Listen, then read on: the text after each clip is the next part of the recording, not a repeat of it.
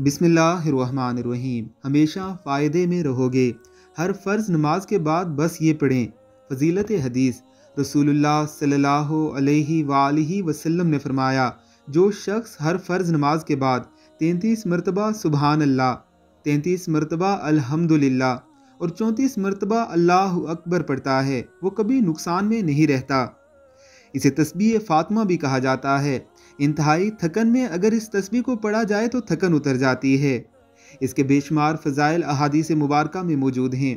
इन्हें अपनी ज़िंदगी का मामूल बनाइए। अल्लाह रबुल्ज़त आपको बेशुमार नुकसान से बचाएँगे।